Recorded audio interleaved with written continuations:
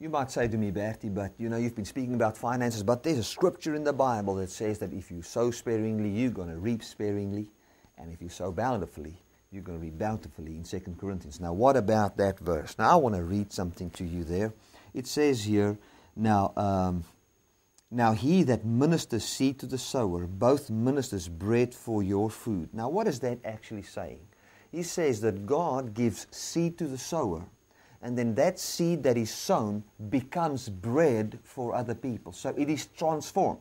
God gives seed to people. Forget money now. Think of corn and think of wheat. So he gives that seed to people. They sow it in the field. It grows, it brings forth more seed. That is taken to the mills, and bread is made out of that. So seed sown is turned into food for people. Now listen to what he says here. Now he that ministers seed to the sower, both ministers bread for your food, and multiply or change your seed sown, and and, and what does he then do? Increase the fruit of your righteousness.